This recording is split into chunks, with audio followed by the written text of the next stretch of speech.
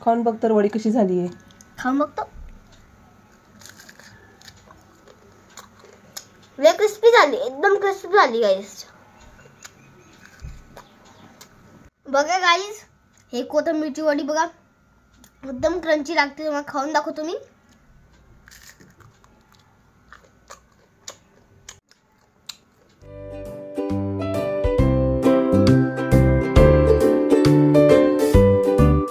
एक वाटी मुगाची डाळ आणि एक वाटी हरभरा डाळ हे रात्रभर भिजवायचं आहे. एका पाण्याने स्वच्छ धुवून घ्यायचे आहे. त्यानंतर त्यामध्ये पाणी टाकायचं आहे.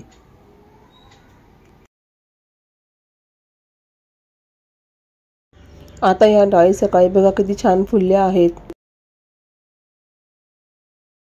ह्या डाळी चांगल्या पाण्याने दोन वेळेस धुवून घ्यायच्या आहेत.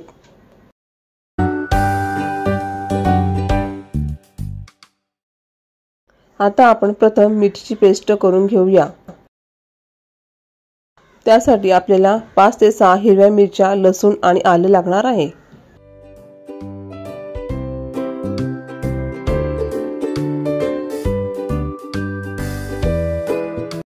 हे सगळं मिक्सरला वाटून घ्यायचं आहे. कोथिंबीरीच्या वड्यांसाठी लागणारं साहित्य म्हणजे चाट मसाला. हे आहे काळं मीठ. हिंग धणे पावडर हे आहे साधं मीठ हा आहे शोप आणि ओवा. हे आहे तीळ. पण तुम्हाला दाखवल्यामुळे हे मिरचीचं वाटण मिरची आलं आणि लसूण. आता आपण ह्या डाळी मिक्सरला वाटून घेऊया. त्यामध्ये आपल्याला कोथिंबीर देखील टाकायची आहे. कोथिंबीर ही जाडसर चिरून घ्यायची आहे. आणि मिक्सरच्या भांड्यामध्ये पाणी टाकत टाकत ते बॅटर आपल्याला वाटून घ्यायचं आहे.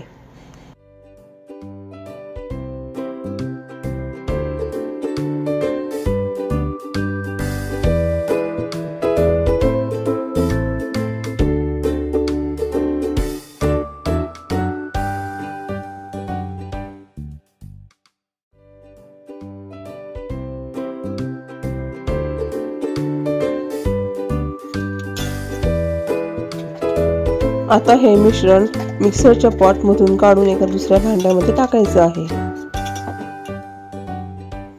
त्यानंतर आपण त्याच्यामध्ये दिलेल्या साहित्याप्रमाणे ते सगळं साहित्य त्याच्यामध्ये टाकायचं आहे आणि ते एकत्र कालवायचं आहे.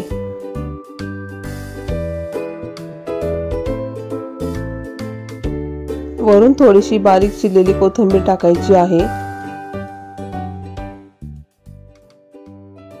त्यानंतर एका प्लेटला तेल लावून त्याच्यामध्ये कोथिंबीर वड्यांचे मिश्रण हे पसरवायचे आहे. पुन्हा त्यावर थोडीशी कोथिंबीर पसरवायची आहे गार्निशिंगला आणि जिरं आणि तीळ सुद्धा पसरवून टाकायची आहे. आता मी या इडली पात्रामध्ये लिंबू टाकत आहे म्हणजे ते भांड काळा पडणार नाही. आणि जर तुमच्याकडे हे पात्र जर नसेल तर तुम्ही कढईमध्ये थोडंसं स्टँड ठेवून तर तुम्ही प्लेट ठेवू शकता जसं मी व्हिडिओमध्ये दाखवत आहे.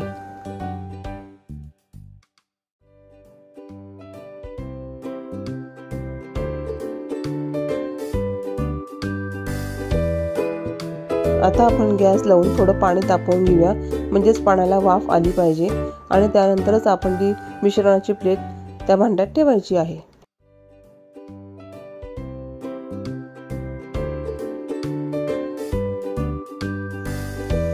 दहा ते पंधरा मिनिटांनी झाकण उघडून बघायचं आहे. सुंदर झाल्या त्या वड्या. आता आपण गॅस बंद करूया. ही जी वडी आहे ही सुरीला चिटकत नाही आहे बघा है ना? म्हणजे आपलं हे पीठ आहे ते कच्चं नाही आतमध्ये. पूर्णपणे हे सगळं शिजलेलं आहे. तर आपण हे काढू शकतो. आता आपण गॅस बंद केलेला आहे खालून. बघू शकता मी गॅस बंद केलेला आहे. आता हे याच्यावर झाकणं सिस्टून द्यायचं आपण जर हे पूर्ण गार झालं ना की मग त्या वड्या काढून आपण त्यांना कट करूया. कट करताना तुम्ही तुमच्या आवडीनुसार तुम्ही शेप देऊ शकतात. मोठ्या आकाराचे किंवा बारीक बारीक छोट्या आकाराच्या वड्या देखील तुम्ही करू शकतात.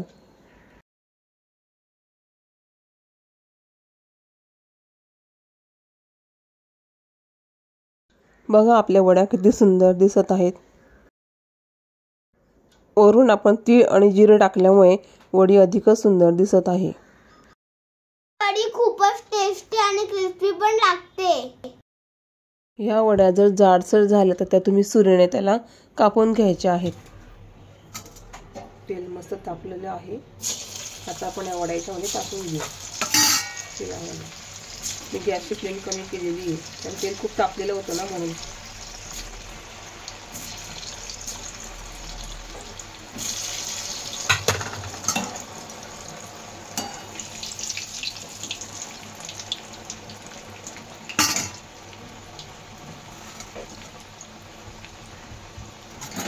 थोड्याशा वड्या अशा बाजूला बाजूला करून घ्यायच्या एक हो, दहा बारा सेकंदांनी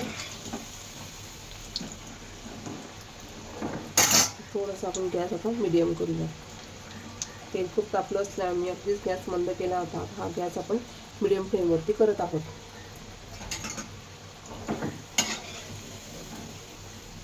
आता ह्या वड्या आपण अशा मध्ये मध्ये पलटवत राहायच्या. म्हणजे चारी बाजूने ते छान फ्राय होतात.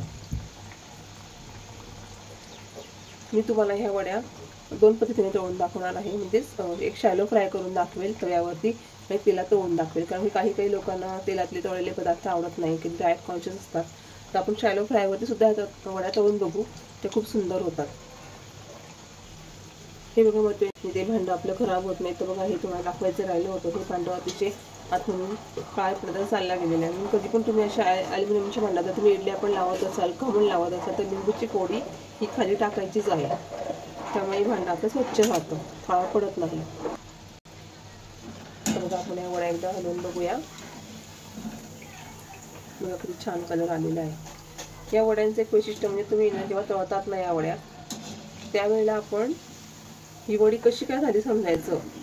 तिला पण असं याच्यामध्ये घ्यायचं. फ्रायमध्ये घेऊन त्याला झटकायचं आहे. जेणेकरून सगळं तेल खाली त्याचा आवाज करायचा असा. असा आवाज आला ना छान कुरकुरीत असा. तर मला वाटतं अजून व्हायच्या आहेत त्या. त्याचा आवाज असा कटपट सारखा आहे. तर मग मी ते अजून टाकते तेलामध्ये. त्याला छान अशा हलक्या झाल्या पाहिजे त्या तळल्यानंतर. त्याच्या त्यात असे जळ लागल्या तर त्या बठ्ठळ लागतात खाताना. म्हणजे त्या खुसखुशीत लागल्या पाहिजे. म्हणून त्या आपण पुन्हा तळून घेऊ थोड्याशा. अशा लालसर झाल्या पाहिजे. बघा ही वडी बघा कशी तरंगते तेलामध्ये. ही दिसते तुम्हाला. ही तरंगायला लागली वडी तेलामध्ये. म्हणजे ही झालेली आहे बघा. ही कारण की बारीक होती ना मी हिला कापली होती चुरीने. ती बारीक असल्याने पटकन झालेली आहे. तर बघा आवाज ही छान आलेला. त्याच्यात ह्या वड्या पण तेलावर थोड्या तरंगायला लागलेल्या आहेत. म्हणजे कुरकुरे पण कमी होतात त्याचे.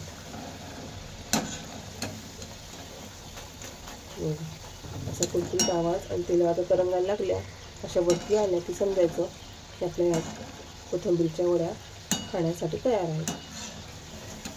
म्हणजे जास्त काळपट पण होऊ द्यायच्या नाही आहे आता मी तुम्हाला तव्यावरती त्या शालो फ्राय कशा करायच्या ते मी तुम्हाला दाखवणार आहे. आपण टाकून घेऊया प्रथम थोडंसं तेल तव्यावरती.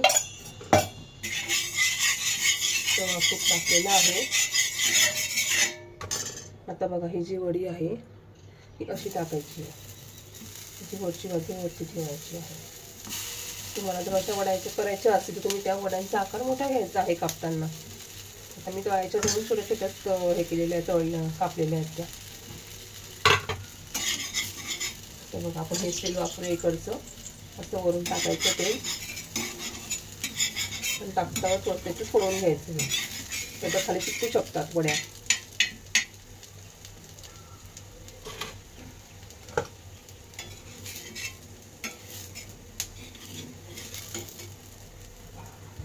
गॅस मी बारीक ठेवलेला आहे. बघा खालून किती छान झाल्या पण लाल त्या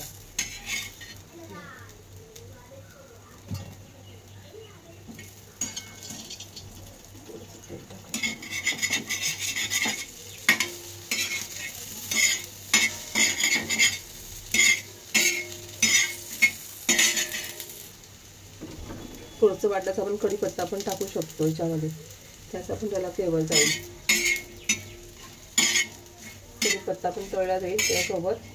आणि कढीपत्त्याचे फ्लेवर किंवा सुगंध पण त्या वडीला लागेल. होत आली आपली वडी आता. बघा आता आपल्या वड्यांचा रंग पण चेंज झालेला आहे. जसं लालसर झालेले आहे ते. आणि कढीपत्ता जो टाकला होता ना आपण तो पण कुरकुरीत झालेला आहे. खाण्यासाठी रेडी झालेले आहे. आता करूया गॅस बंद.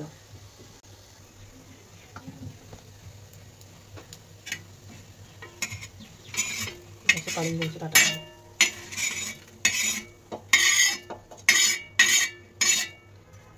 अतिशय सुंदर ह्या वड्या झालेल्या आहेत मस्तच झालेल्या आहेत. तुम्ही अशाही पद्धतीने याला खाऊ शकतात.